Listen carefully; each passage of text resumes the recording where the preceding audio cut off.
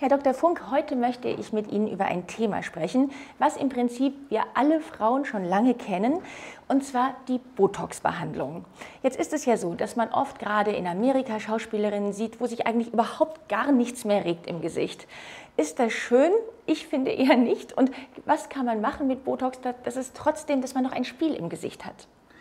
Gott sei Dank können wir die ganzen Maßnahmen, die wir, die wir mit dem Botox machen oder Botulinumtoxin, da gibt es ja unterschiedliche Stufen, ähm, können wir heute sehr relativ einsetzen. Also nicht dieses absolut tote Gesicht nach dem Motto, ja, so einfach so eine Armmimik, wenn man eine Emotion ausdrücken möchte, was ja eigentlich nicht wirklich menschlich ist.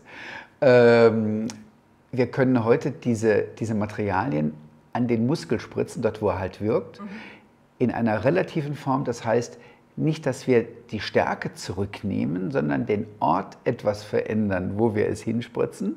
Und somit können wir dann auch noch eine gewisse Basismimik belassen, vor allen Dingen in ganz wichtigen Strukturen. Wenn ich jetzt zum Beispiel auch mal böse gucken will, dann weiß der, dass da, das Gegenüber, oh, oh, oh, ja. da ist, das ist ein bisschen kritisch. Ne? Da, mhm. da, muss ich aufpassen. Mhm. Also das können wir heute wunderbar belassen und dieses tote, starre Gesicht, was quasi faltenlos ist, mhm.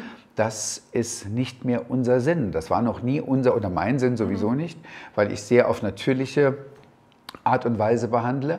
Aber äh, man hat es ja oft gesehen und man weiß ja. natürlich auch dann von den, von den Filmen aus Amerika, wie furchtbar die dann im Endeffekt aussehen. Aber man kann es sehr relativ einsetzen. Und wo im Gesicht hat man überall die Möglichkeit, mit Botulinumtoxin zu arbeiten?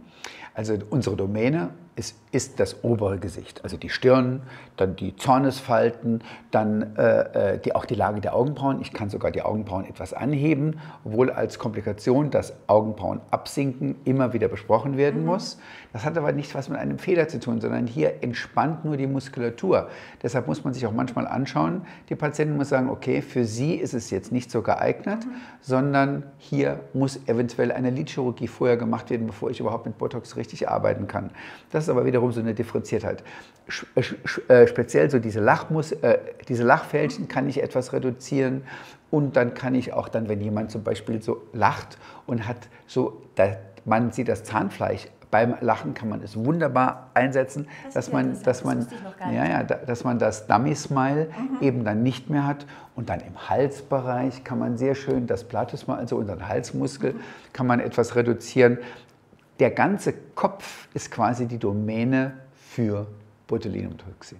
Wenn man jetzt das Wort übersetzt, was dann Gift heißt, Schlangengift, bekommt man es ja doch etwas mit der Angst zu tun. Können Sie den Patientinnen diese Angst nehmen? Also es hat grundsätzlich in der Basis ist es Gift, ja. Auf der anderen Seite spricht man ja dann nur darüber, dass etwas passieren kann. Nur im Endeffekt, wenn ich jetzt ein Glas Wein trinke, bin ich näher am Alkoholtod, als wenn ich Ihnen Botulinumtoxin spritze, weil es geht immer um die Menge. Mhm. Und, und, und ich habe dort einen extrem hohen Sicherheitsgap. Ich gebe Ihnen 80 Einheiten und 74.500 sind tödlich. Also sehen Sie mhm. mal, wie viel.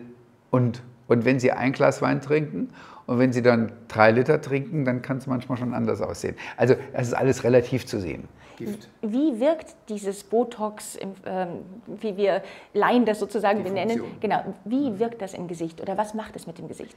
Das äh, Gesicht beruhigt es einfach die, Muskul die muskuläre Struktur und das ist auch der Ansatz, wie das Botox wirkt oder das mhm. Botulinumtoxin wirkt.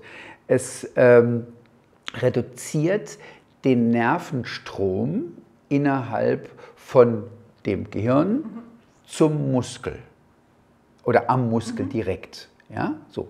Das, wir nennen das Synapse, das ist jetzt ein bisschen kompliziert, aber so grundsätzlich kann man sich eigentlich vorstellen, dass der Muskel nicht mehr die Aktivität hat, die er eigentlich normalerweise haben sollte.